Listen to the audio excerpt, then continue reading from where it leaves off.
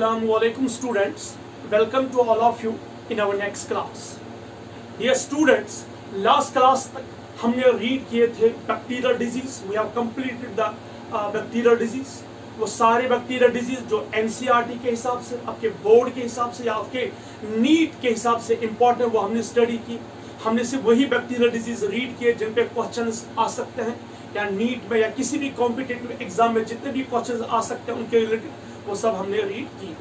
आज की क्लास में हम स्टार्ट करेंगे वायरल डिज़ीज़ यानी दूसरी कैटेगरी हम लेंगे the disease cause by the virus the disease cause by the virus इन्हें हम बोलते हैं viral disease dear students we know it very well कि जो ये वायरस है, ये बॉडी के बाहर क्या है? नॉन लिविंग होता है, और बॉडी के अंदर ये क्या रहता है? लिविंग तो दैट मीन्स ये लिविंग और नॉन लिविंग के बीच में यानी कि इससे हम कल्चर नहीं कर सकते बॉडी के बाहर।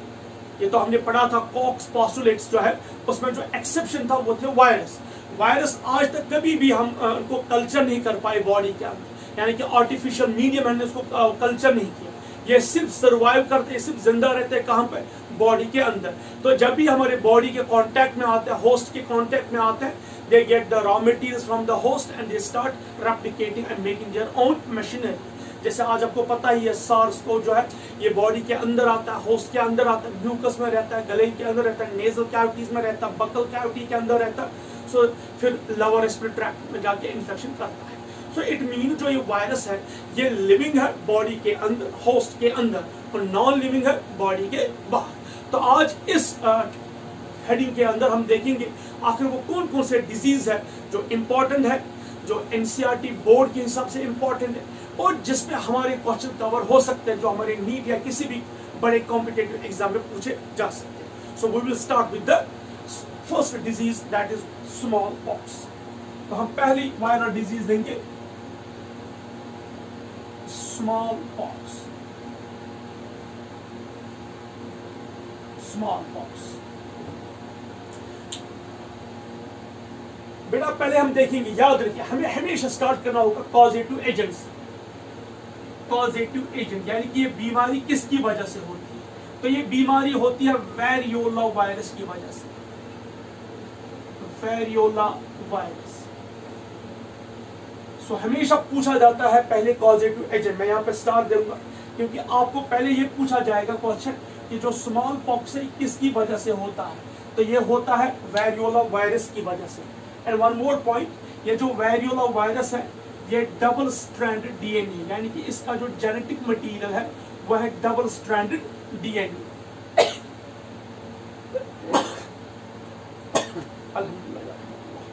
तो डबल स्ट्रैंडेड डीएनए है ये, यानी कि ये डीएनए वायरस है, ये आरएनए वायरस नहीं है। तो वेरियोला वायरस एक एक वायरस है, जिसकी वजह से स्मॉल पॉक्स होता है और ये डबल स्ट्रैंडेड डीएनए उसके बाद हम स्टडी करते हैं ट्रांसमिशन आखिर डिज़ीज़ कैसे फैलती है? याद रखिए, ये हमेशा फैलती है through air droplets so we can say through airborne जब कोई पेशेंट कफिंग करेगा, या स्नीजिंग एक्सेट्रा तो ज़्यादातर एयरबॉर्न ट्रांसमिशन उसके बाद हम देखेंगे सिम्टम्स इस बीमारी में याद रखिए, जब भी वायरल इंफेक्शन होता है तो फीवर चढ़ता है। तो हम कह सकते पहले, सबसे इंपॉर्टेंट फीवर ठीक है? उसके बाद हेडेक हमेशा दर्द रहता है हेड में हेडेक उसके बाद बॉडी एक बॉडी एक यानी कि पूरे बॉडी में दर्द रहता है जनरल वीकनेस कमज़ोरी आ जाती है। जनरल वीकनेस ठीक है? कमज़ोरी आ जाती है। और वन मोर पॉइंट सबसे इंपॉर्टेंट ये तो जनरल है। फीवर है हेडेक है बॉडी एक है जनरल वीकनेस है तो चलो जनरल है। लेकिन हमें कैसे पता चलेगा कि ये स्मॉल पॉक्स है? तो ध्यान से देखिए।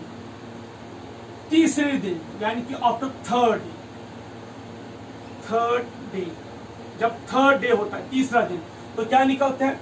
बॉडी पे निकलते हैं रैश क्या निकलते हैं? रैश और उसके बाद ये रैश किसमें कन्वर्ट होते हैं? पेप्यूल्स पहले छोटे छोटे रेड स्पॉट्स निकलते ये रेड स्पॉट थोड़ा वो साइज़ में बढ़ जाते हैं बोलते हैं पेप्यूल्स और ये पेप्यूल्स फिर बनाते हैं वेजिकल शेप वेजिकल किसे हम बोलते हैं? एक बड़ा सा सफ़ेद स्ट्रक्चर जिसके अंदर कुछ है। अभी तक कुछ दिखाई नहीं दिया, लेकिन वेजिकल शेप है। बिल्कुल कप शेप्ड है। वेजिकल कन्वर्ट होता है पस्ट्यूल्स में। पस्ट्यूल किसे हम बोलते हैं? बेटा शेप वेजिकल की है कप शेप ही है। बिल्कुल कप शेप है, लेकिन उसके अंदर पस है। उसके अंदर क्या है? वेजिकल में सिर्फ़ रस टपकता था, बिल्कुल प्लेन वाटर की तरह।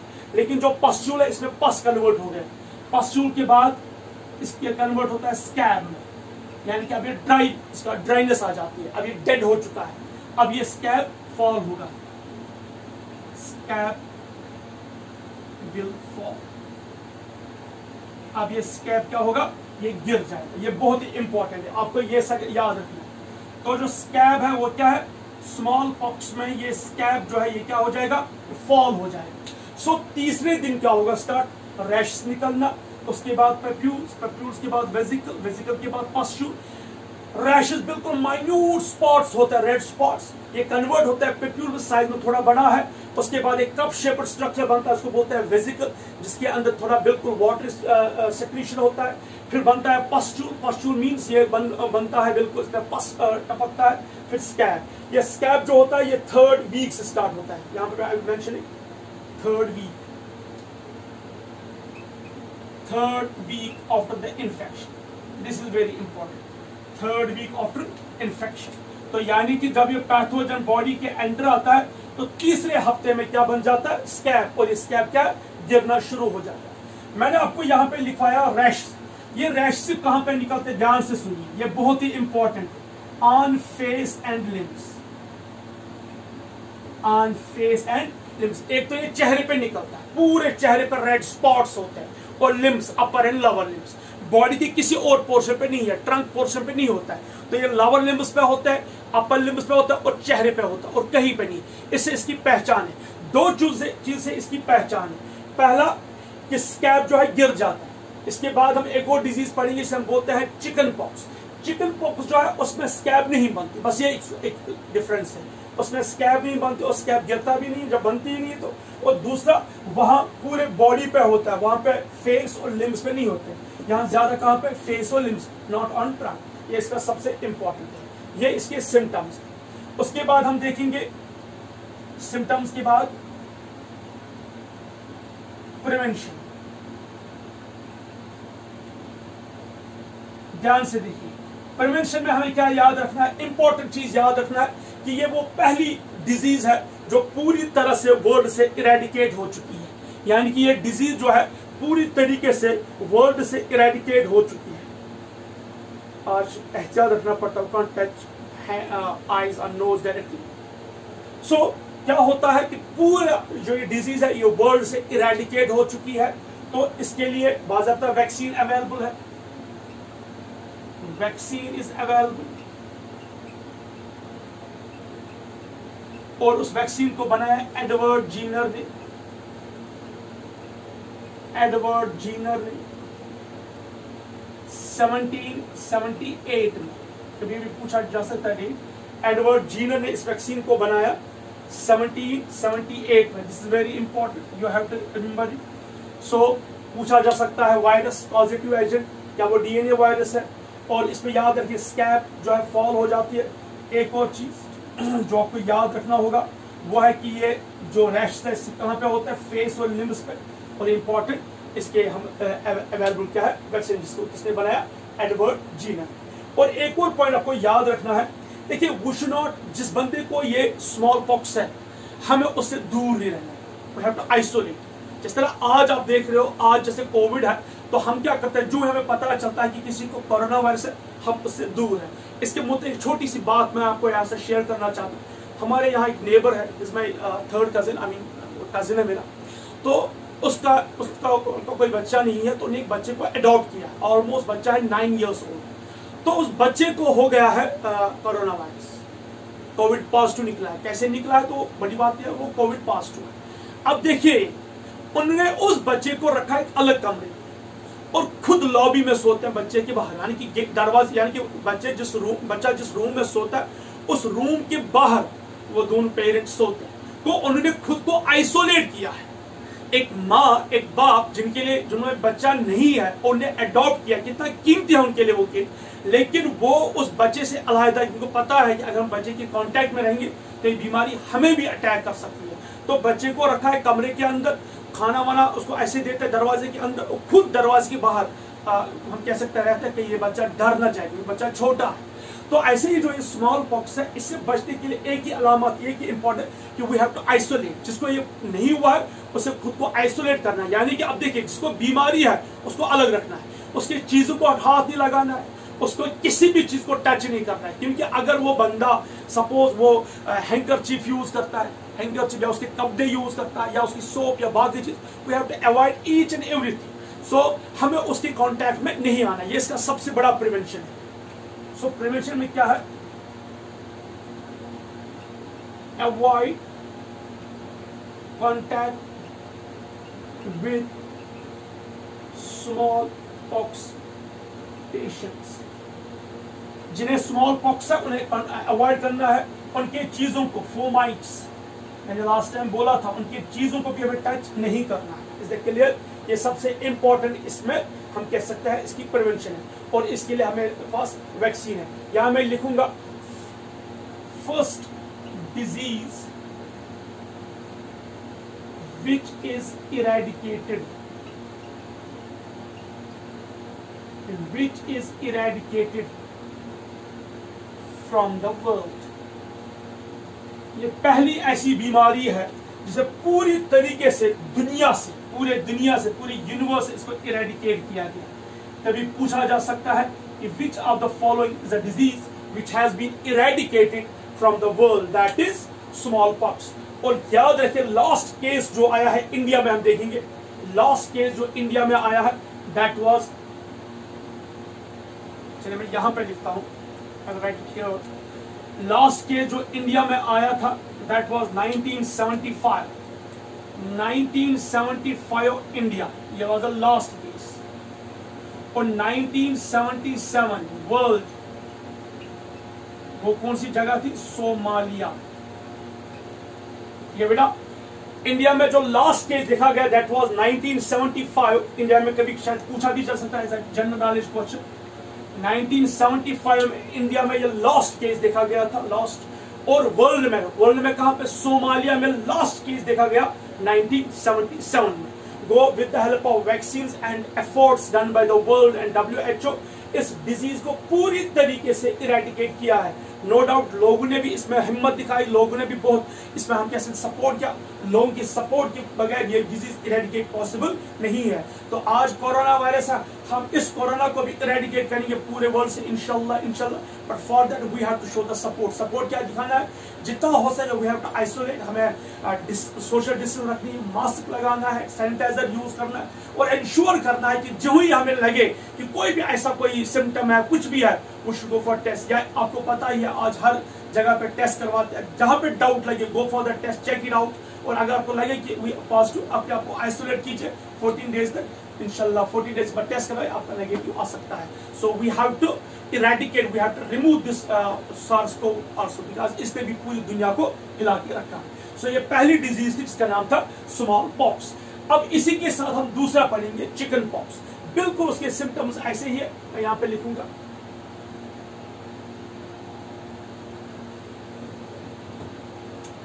सो so, अब chicken pox disease number two chicken pox ठीक है? कौन है कॉजिटिव एजेंट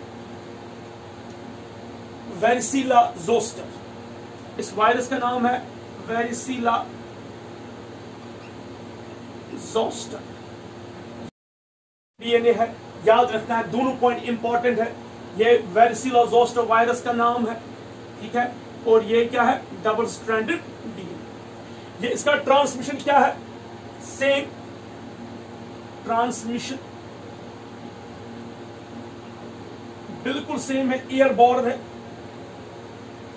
ये ईयर बॉर्न डिज़ीज़ है, ठीक है? कफिंग सीरीजिंग इवन जिन बंदों को ये बीमारी है, चिकन पॉक्स या अभी जो मैं बात कर रहा था स्मॉल पॉक्स सपोज़ अगर उन्होंने किसी दरवाजे को हाथ लगाया ठीक है? अब बंदा को यहाँ से कोई और बंदा, उसने भी दरवाजे में तो उससे भी हो सकता है। सो डायरेक्ट कॉन्टैक्ट से डिज़ीज़ फैलती है। डायरेक्ट कॉन्टैक्ट यानी कि अगर इंसान का कॉन्टैक्ट आ गया जिस तरह आज आप देखते हो कोरोना वायरस डायरेक्ट कॉन्टैक्ट से भी फैलता है तो ये भी डायरेक्ट कॉन्टैक्ट से फैलता है। सिम्टम्स यही है फीवर है हेडेक है बॉडी एक है जनरल वीकनेस है। लेकिन यहाँ भी रैश निकलते हैं यहाँ भी पेप्यूल्स है, यहाँ भी वेसिकल है, यहाँ भी पास्टूल है, यहाँ भी स्कैब है। बट द ओनली डिफरेंस वो स्कैब विल नॉट फॉल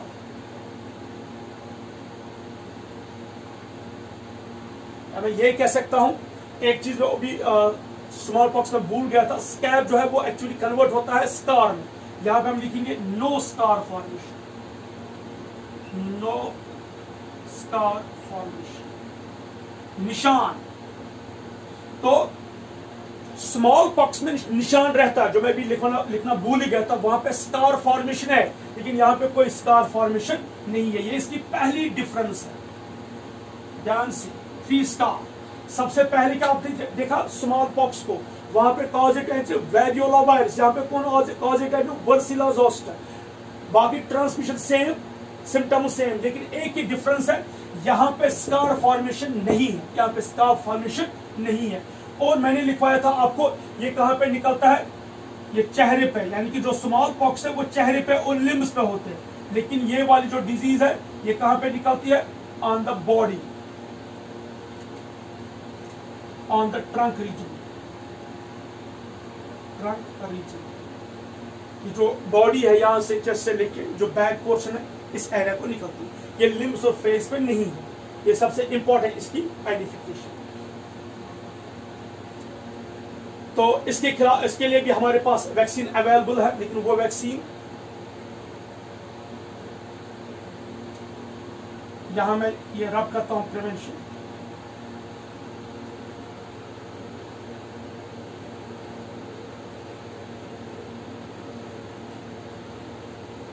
ध्यान से देखिएगा।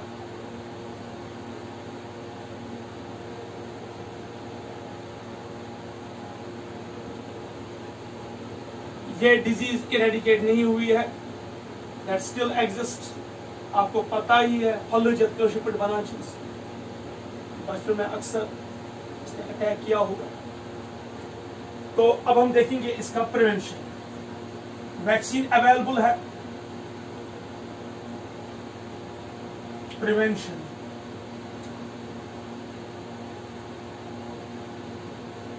प्रिवेंशन में सबसे important vaccine is available vaccine is available लेकिन एक चीज़ याद रखिए।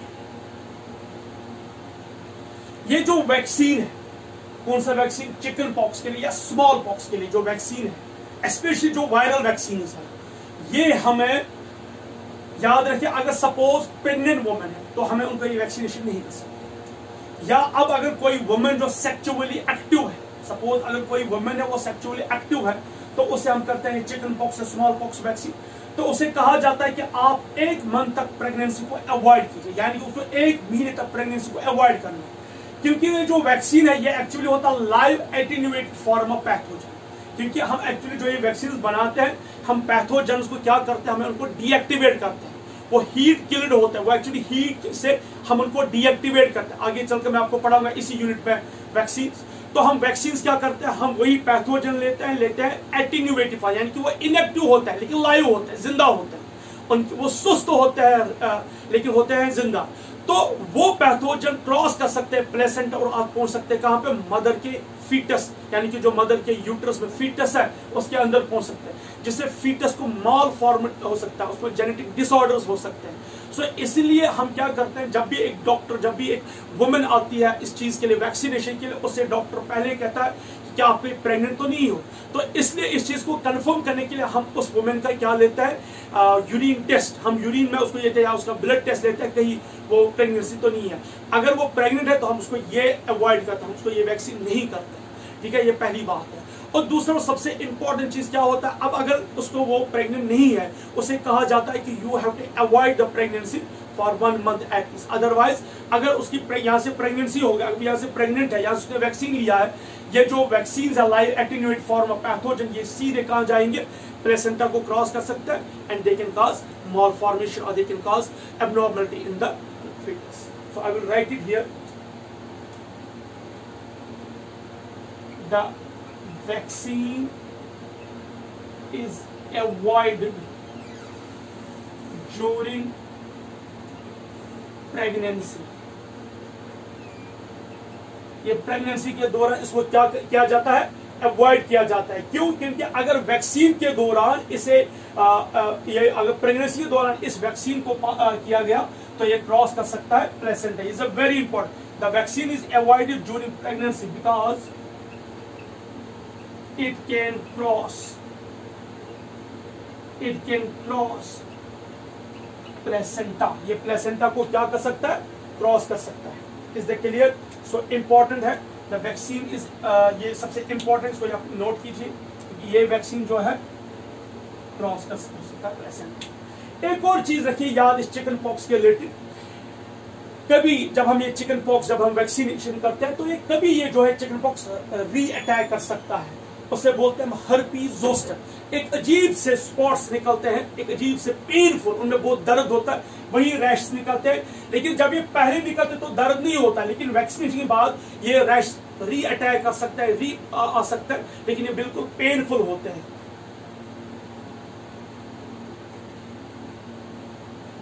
सो so, यहाँ पर मैं लिखूँगा the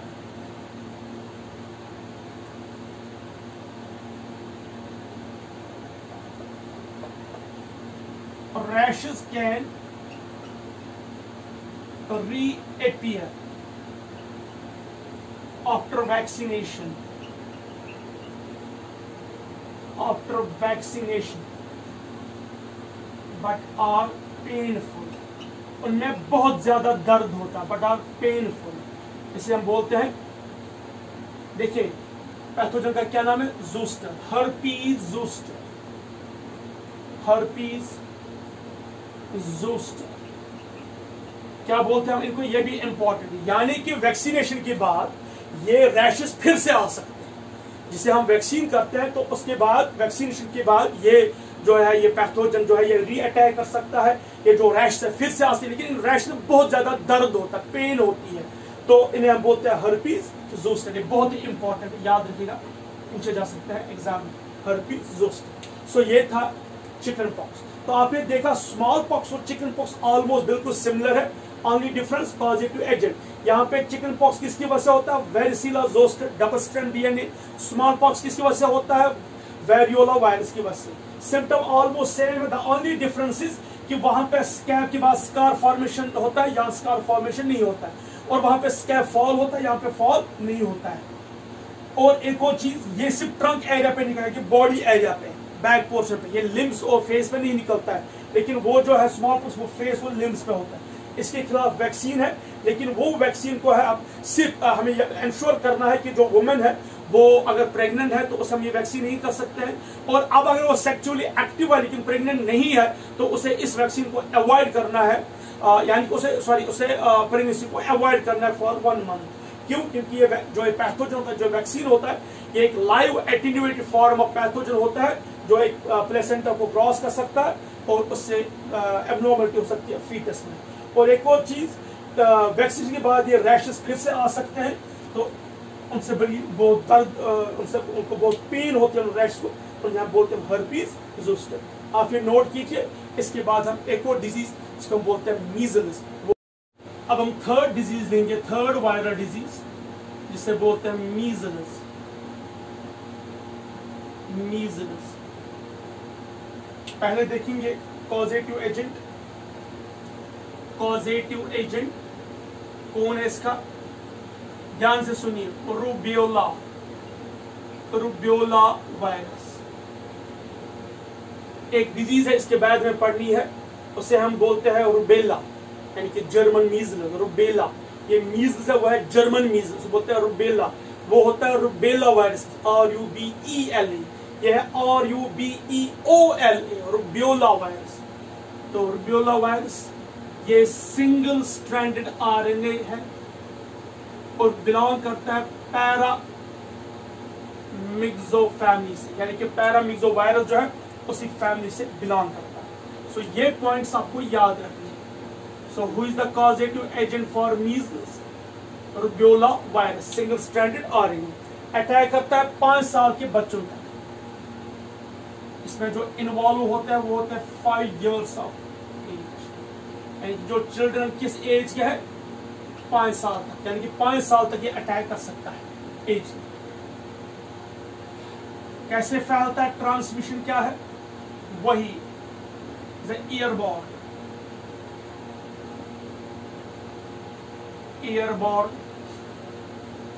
direct contact fomites use of fomites fomites होता एक चीज़ है, यानी कि जिस बंदे को मीजल्स है, अगर आपने उसकी चीज़ों को यूज़ किया तो इंसान को लग सकता है। सिम्टम्स देखिए इसके सिम्टम्स ध्यान से सुनिए। सबसे पहला रनिंग नोज़ यानी कि इसमें भी रैश निकलते हैं। जिस तरह हमने इससे पहले पढ़ा चिकन पॉक्स और स्मॉल पॉक्स में वहाँ रैश यहाँ भी रैश है। लेकिन यहाँ पे इंपॉर्टेंट है रनिंग नोज़ रनिंग नोज़ क्योंकि ये जो पैथोजन है, ये रहता है इंसान के थ्रोट में, जो म्यूकस है, उसमें रहता है। इंसान का जो म्यूकस है नेजल कंजेशन जो है नेजल में जो म्यूकस है, या हमारा जो थ्रोट में म्यूकस ये वही पे रहता है। इसलिए ये पासान भी होता है थ्रू नोज़ और थ्रू माउथ सो इसलिए हमें क्या करना है? जितना जितना हो सके we have to keep our mouth clean जितना हो सके अपनी ओरल कैविटी को थ्रोट को क्लीन रखना है। रनिंग नोज़ वाटरी आईज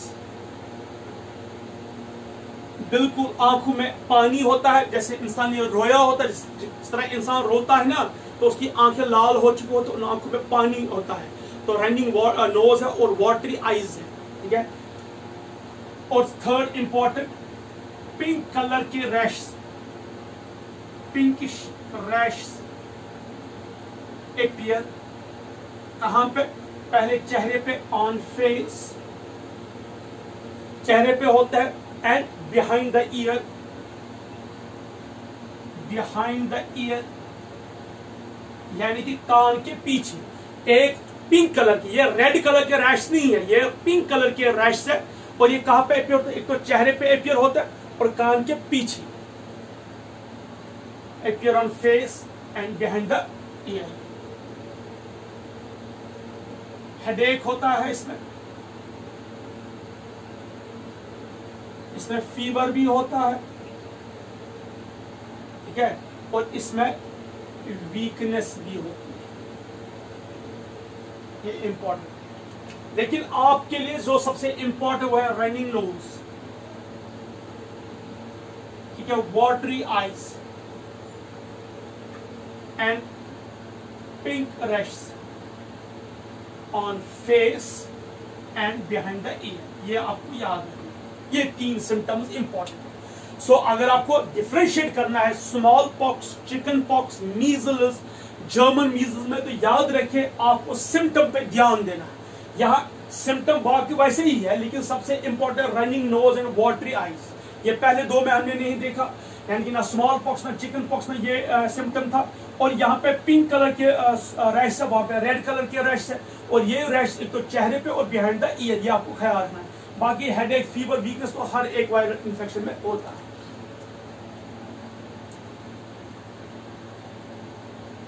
इसके बाद हम देखेंगे इसका प्रिवेंशन प्रिवेंशन क्या है? इसमें इंपॉर्टेंट है वैक्सीन जिस तरह हमने बैक्टीरियल डिज़ीज़ में पढ़ा था ट्रिपल वैक्सीन डीपीटी याद है? डिप्टेरिया परट्यूसिस एंड टेटने के खिलाफ वैक्सीन इस तरह यहाँ भी होता है ट्रिपल वैक्सीन ट्रिपल वैक्सीन इसका नाम है I M M R M M R vaccine is very important पहले नौ महीने जब बच्चे की विलाद होती है मैंने आपको बोला भी लास्ट टाइम कि हम बच्चों के लिए एक इम्यूनाइजेशन प्रोग्राम होता है, एक इम्यूनाइजेशन कार्ड होता है, इस पर लिखा होता है कि किस वक्त कौन सा वैक्सीन देना है। तो पहले नौ महीने में ये वैक्सीन किया जाता है। इसे बोलते हैं एम एम आर या triple vaccine very important very important very very important अब हम देखेंगे एम क्या है। अब राइट है एम इज़ फॉर मीजल्स ठीक है? तो ये वैक्सीन किसके खिलाफ है? मीजल्स के खिलाफ और मम्प्स ठीक है? ये भी बच्चों में वायरल डिज़ीज़ ये भी पढ़ेंगे. एंड और फॉर रुबेला रुबेला और U B E L A इसको रुबेला को बोलते हैं जर्मन मीजल्स ये है मीजल्स ये है तो इन तीन बीमारी के खिलाफ ये ट्रिपल वैक्सीन किया जाता है. इसमें भी एक चीज़ याद रखिए. अगर मदर प्रेग्नेंट है तो ये वैक्सीन नहीं किया जा सकता है अदरवाइज़ उसको अवॉइड करनी है अपनी प्रेगनेंसी और अब अगर वुमेन सेक्चुअली एक्टिव है तो उसे याद रखना है कि अगर वो सेक्चुअली एक्टिव है तो उसे आ, उस वक्त ये कहा जाता है इस वैक्सीन के बाद से बोला जाता है कि आपको अपनी प्रेगनेंसी क्या करना है? अवॉइड क्योंकि ये वैक्सीन भी जो है क्रॉस कर सकता है प्लेसेंटा और वहाँ पे फीटस को क्या कर सकता है? डिसऑर्डर्स या हम कह सकते हैं जेनेटिक डिसऑर्डर्स डिज़ीज़ एक और चीज़ यहाँ पे सिम्टम में यहाँ भूल ही गया था। बहुत ही इंपॉर्टेंट मैं यहाँ पे लिखूँगा। चलिए यहाँ पे लिखूँगा ऑन माउथ एक अजीब से दाग, एक स्पॉट्स निकलते हैं इनको बोलते हैं कोपलिक्स स्पॉट्स ऑन जो कॉप्लिक स्पॉट्स निकलते हैं, ये कुछ अजीब तरह के स्पॉट्स होते हैं। येलो कलर के स्पॉट्स है। तो ये निकलते हैं। ये भी इसकी पहचान है। मीजल्स की ये भी पहचान है कि वहाँ पे कुछ स्पॉट्स निकलते हैं, बोलते हैं कॉप्लिक स्पॉट्स। तो ये स्पॉट्स जो है, ये कहाँ पे निकलते हैं? टंग में और माउथ के अंदर। और याद रखिए, यहाँ पे ऑलमोस्ट जो फीवर है, वो रहता है सात दिन तक। Seven days fever seven days fever यानी कि जो फीवर है, वो सात दिन तक रहता है। कितने दिन तक रहता है? सात दिन तक। सेवन डेज़ तक ये फीवर रहता है। यानी कि जब फीवर आता है तो सात दिन मिनिमम सेवन डेज़ हैं। इंक्यूबेशन पीरियड क्या है इसका? इंक्यूबेशन पीरियड है इसका two to three weeks two to three weeks अब हम नेक्स्ट देखेंगे ये तो डिज़ीज़ नंबर थर्ड है, अब हम देखेंगे डिज़ीज़ नंबर फोर्थ ये देखिए, मैं हम कंपेयर करके पढ़ते हैं। उसका नाम है रुबेला। रुबेला। इसे हम एक वो नाम देते हैं जर्मन मीजल्स क्योंकि एक जर्मन डॉक्टर ने इसको बहुत थॉरली ज़्यादा स्टडी किया था। इसको बोलते हैं जर्मन मीजल्स ऐसा नहीं है कि ये खाली जर्मनी में था, बल्कि ये जो है ये एक जर्मन डॉक्टर ने ज़्यादा थॉरली स्टडी किया इसलिए। यहाँ ध्यान से देखिए, यहाँ मैंने क्या लिखा था? ई ओ रो बी ला और यू बी ई ओ यहाँ पे ओ को काटना है। ध्यान से देखिए बेटा ओ को काटना है, खाली ई रखना है। सो ये कौन सा वायरस है? रूबिल्ला वायरस वहाँ पे कौन सा वायरस है? रूबियोला वायरस तो ये कौन सा है? रूबिल्ला वायरस ये भी सिंगल स्ट्रैंड आरएनए है और पैरामिक्सो फैमिली से ट्रांसमिशन बिल्कुल यही है यही है सिम्टम्स लेकिन इसमें एक चीज़ ख्याल रखनी कि यहाँ पे जो ये पिंक कलर की रैश ये बिल्कुल फेंट कलर की I will delete here I will यहाँ पे जो ये स्पॉट्स है, ये रैश है, ये बिल्कुल फेंटेड होते हैं। फेंट कलर रैश यानी कि जो रैश है बिल्कुल, ये इतने बिल्कुल वो, हम कह सकते हैं इतने भारी कलर के नहीं, जैसे पहले हम पहले दिखाया पिंक कलर के। वो पिंक कलर के नहीं होता, बिल्कुल लाइट कलर के होता है, बिल्कुल उनको, हम क्या कह सकते हैं कलर लेस होते हैं, वो बॉडी पे आते हैं। बाकी इनमें सब कुछ सेम ठीक है? तो रोबिल्ला या जो जर्मन मीजल्स है, और दूसरा इससे पहले मैंने क्या पढ़ाया था मीजल्स इन दो में सिर्फ़ एक ही डिफरेंस है, एक तो पॉजिटिव एजेंट मीजल्स में रुबियोला वायरस और यहाँ पे जर्मन मीज और रुबेला में रुबेला वायरस। ये ट्रांसमिशन सेम सिम्टम सेम लेकिन एक ही चीज़ है, वहाँ पे जो ये होता है स्पॉट्स वो बिल्कुल फ़ैन कलर्ड स्पॉट्स होते हैं। इसमें भी जो वैक्सीन है, वो होता है ट्रिपल वैक्सीन मैंने अभी नाम दिया मीजल्स यहाँ देखिए, मैंने यहाँ पे लिखा है मीजल्स ठीक है? मम्प्स एंड रुबेला तो ये यहाँ पे जो ये वैक्सीन है एमएमआर वैक्सीन इस रुबेला के लिए आप ये नोट कीजिए, इसके बाद हम कुछ और डिज़ीज़ रीड करेंगे अब हम डिज़ीज़ नंबर फाइव लेते हैं। डिज़ीज़ नंबर फाइव ठीक है? तो फिफ्थ डिज़ीज़ जो है that is rabies rabies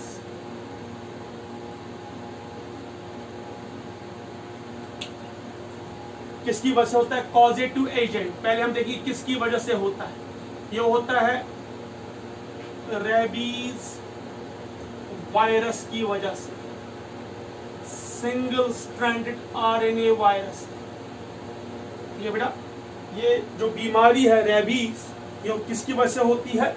rabies virus की वजह से। और वो वायरस क्या है? Single strand I told is a very important causative agent बहुत इंपॉर्टेंट आपको याद रखना है। हाँ ट्रांसमिशन कैसे फैलता है? You know it very well जब कोई पागल कुत्ता काटता है, तब रेबीज हो सकती है। और right here due to bite of a mad dog wolf जो कॉर्निवोरस एनिमल्स होते हैं वोल्फ शकल एक्सेट्रा पागल कुत्ते के काटने से, वुल्फ के काटने से जैकॉल के काटने से ये बीमारी फैलती है। ठीक है? सिम्टम क्या है? ध्यान से सुनिए सिम्टम इसकी। इस बंदे को एक ही सिम्टम याद रखेगा जो सबसे पहचान है इसकी, वो है हाइड्रोफोबिया फियर टू वाटर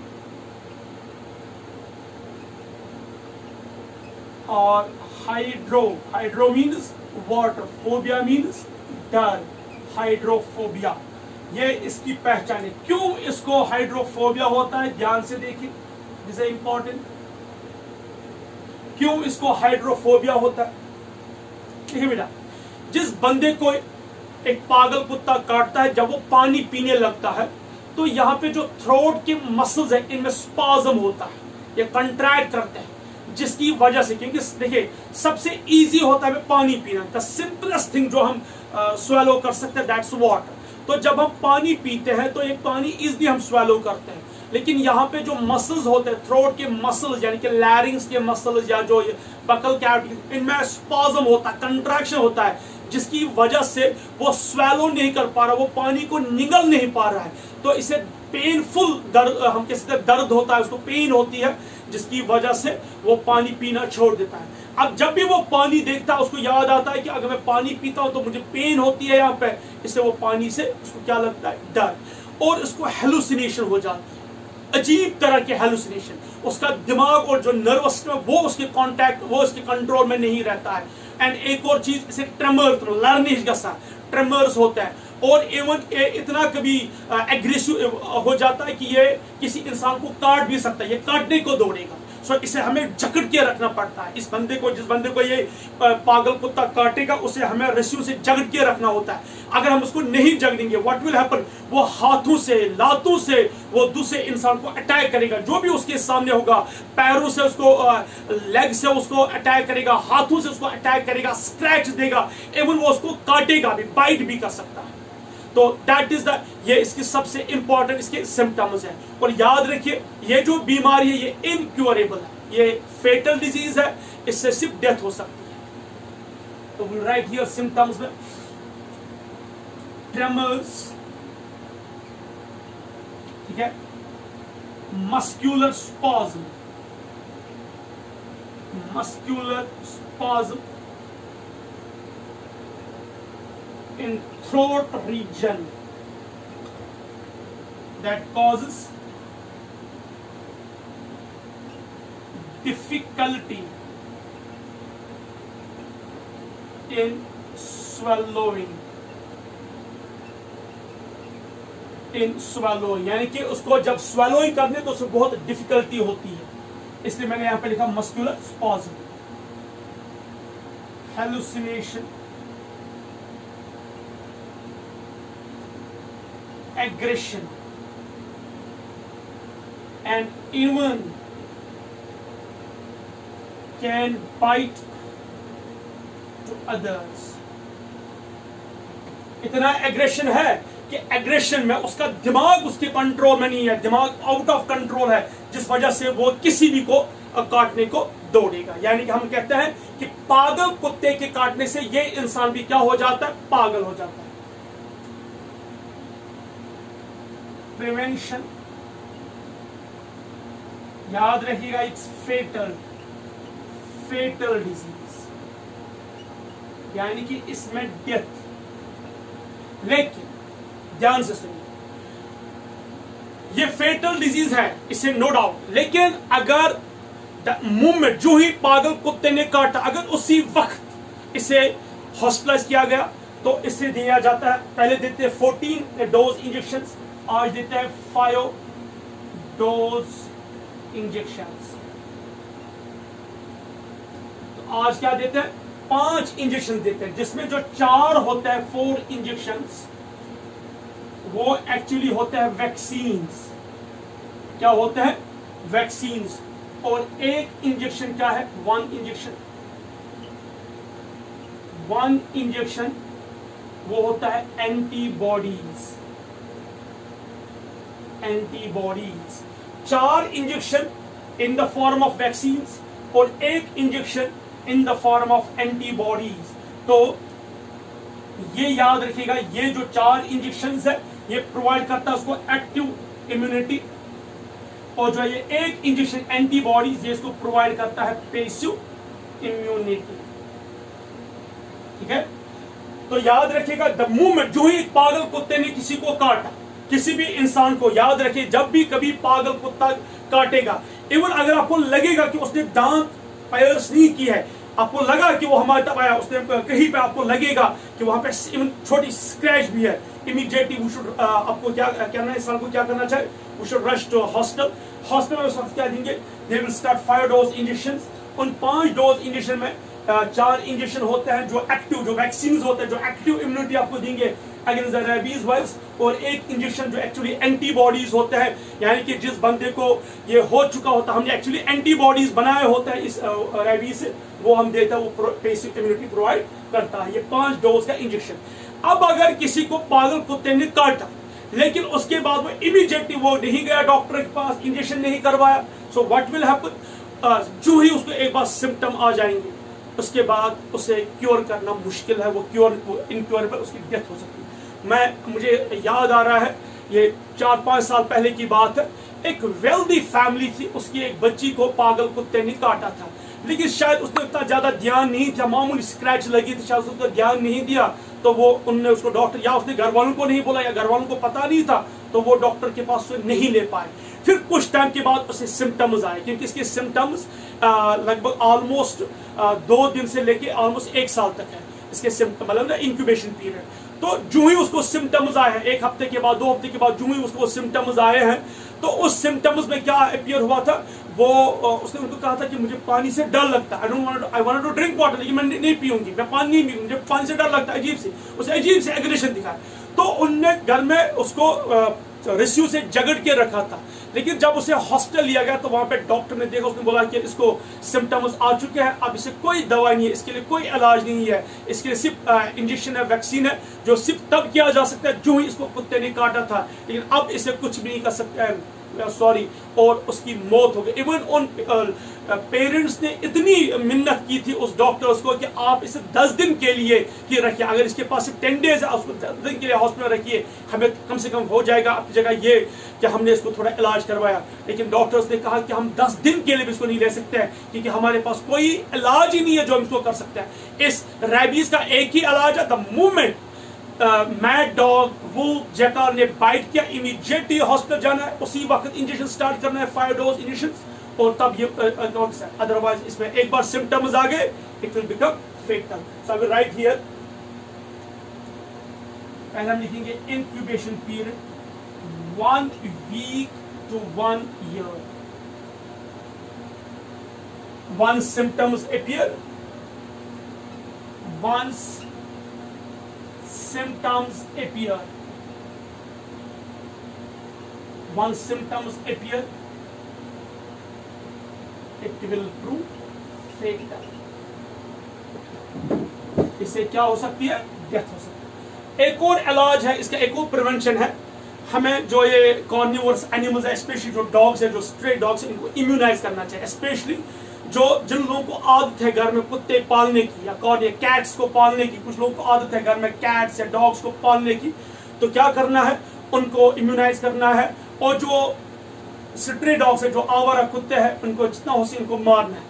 वो दैट्स नॉट पॉसिबल मुझे याद है लास्ट टाइम भी यहाँ कैश में बहुत सारे ऐसे केस आ गए थे, जहाँ कुत्तों ने बहुत सारे बच्चों को, छोटे बच्चों को छल नहीं कर दिया था। ऐसे वो कुत्ते पागल हो चुके थे तो लेकिन उस वक्त भी श्रीनगर म्यूनसिपल कॉर्पोरेशन ने स्टार्ट किया था। उस वक्त म्यूनसिपल ने ये drive that we will either we will make them हम कह सकते हैं उनको, उन्हें क्या, उनको हम नसबंदी कराएँगे या उनको हम किल करेंगे, लेकिन ऐसा कुछ हुआ नहीं। का उन्होंने ऐसी कोई जरूरतमंदाना इकदाम नहीं किया। उल्टा उनने क्या किया? सिटी से डाउस को उठाया और रिमोट एरिया यानी कि गाँव में उन डॉग्स को छोड़ दिया। लेकिन one of the same thing ऐसे डॉग्स को क्या करना था उनको टू किल लेकिन दैट्स नॉट पॉसिबल इंडिया इसे के लिए ये कौन सी डिज़ीज़ थी? ये थी रेबीज अब हम लास्ट वायरल डिज़ीज़ पढ़ेंगे. दैट इज़ हर्पीज और जो हर्पीज है, ये सेक्चुअली ट्रांसमिटेड डिज़ीज़ है. सेक्चुअली ट्रांसमिटेड डिज़ीज़ हर्पीज जो होता है, किस पैथोजन की वजह से? हर्पीज सिंप्लेक्स वायरस है उसी की वजह से होता है. सो डिज़ीज़ नंबर सिक्स इसे कहते हैं हर्पीज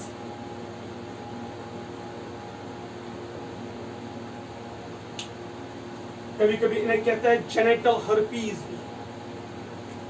जेनेटल हर्पीज क्योंकि यह हर्पीज टारगेट क्या है? ऑन द जेनेटल पार्ट्स इसकी वजह से होता है? Human simplex virus human simplex virus ये वायरस है, उसी की वजह से होता है ह्यूमन सिंप्लेक्स वायरस की वजह से होता है। ये दो है, ये डिज़ीज़ हर्पीज एक है हर्पीज सेकेंड और दूसरा है हर्पीज फ़र्स्ट जो हर्पीज सेकंड है ये होता है ह्यूमन सिंप्लेक्स वायरस सेकंड ध्यान से सुनिए। जो हर्पीज है सेकंड ये होता है ह्यूमन सिंप्लेक्स वायरस सेकंड से, इसे बोलते भी है हर्पीज सेकंड इसमें क्या है? पेनफुल ध्यान से सुनिए इसकी symptoms painful vesiculo pustular vesiculopustular blisters appear on genital region on genital region genital region में क्या आता है मेल्स में मेल्स में पेंस इवन टेस्टिकल्स फीमेल्स में vulva that's external genital organ उस रीजन में आ जाता है। वैसे क्यों ध्यान सुनिए हर्पीस सेकंड जो होता है ह्यूमन सिंप्लेक्स वायरस सेकंड ये अटैक करता है कहाँ पे? जेनेटल पार्ट चाहे male copulatory organ testicles male जो पेनिस है, उसके टिप पे होता है, उसके स्टम जो मेल कपलेटरी, जो स्ट्रक्चर उसके स्टम पे निकल सकता है, या उसके प्यूबिक रीजन में निकल सकता है। ये ब्लिस्टर्स ये बिल्कुल दाने होता है, लेकिन पेनफुल होता है, ये बिल्कुल वेजिकुलर शेप में होता है पस्टुलर शेप में होता है उनसे पस टपकता है, और फीमेल्स में निकलते हैं ऑन द एक्सटर्नल रीजन से, बोलते हैं labia minora labia majora clitoris region में, उसके भी प्यूबिक रीजन में निकलते हैं। ये बिल्कुल पेनफुल होता है। इनमें रस्ट पकता है और ये इनक्योरेबल है, यानी कि इन डिज़ीज़ को क्योर नहीं किया जा सकता है। दीज आर इनक्योरेबल प्रिवेंशन में याद रखिए इनक्योरेबल वी कांट क्योर दम हाँ कुछ मेडिकेशन से या कुछ सैलिनेशन से इनके कुछ मेडिसिन दी जाती है, कुछ थेरेपी की जाती है, जिनसे इन्हें थोड़ा बहुत इनके सिम्टम्स को कम कर सकता है, दर्द को कम किया जा सकता है। लेकिन ये क्योरेबल नहीं है। कैसे फैलता कैसे है? यहाँ मैं लिखता हूँ फैलता कैसा है बेटा? ये सेक्चुअली ट्रांसमिटेड डिज़ीज़ है या मिनरल डिज़ीज़ ये फैलता है through sexual multiple sexual contacts यानी कि जब मल्टीपल सेक्चुअल पार्टनर होंगे non hygienic sex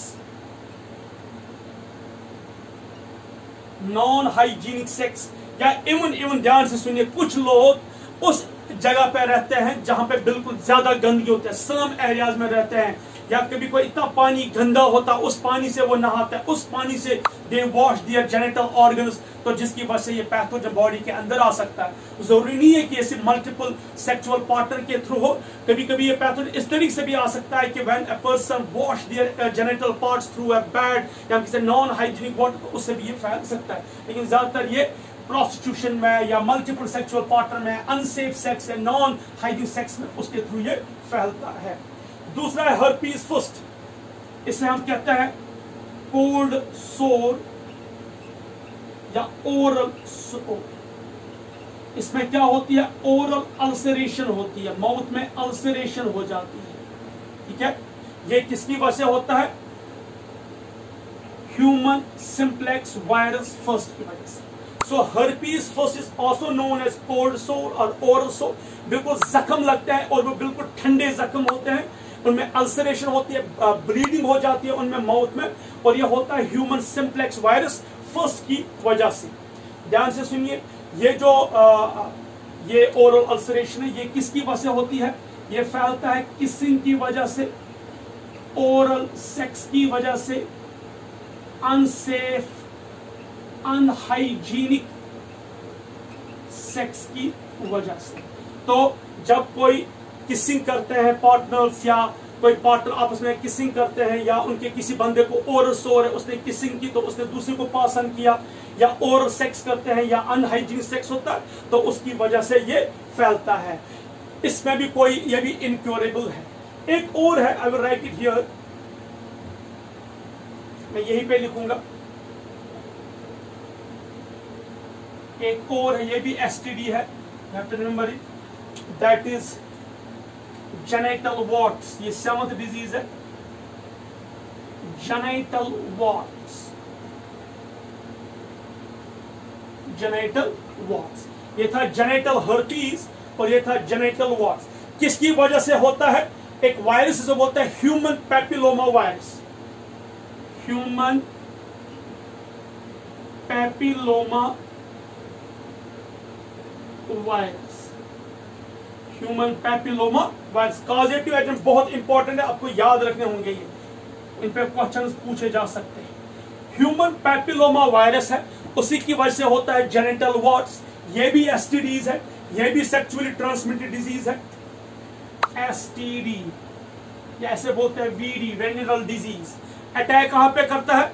on the genital parts जो मेल के जेनेटल पार्ट्स या फीमेल के जेनेटल पार्ट्स उन्हें बिल्कुल कॉलीफ्लावर के शेप ब्लिस्टर्स निकलते हैं या मैं लिखता हूँ cauliflower shaped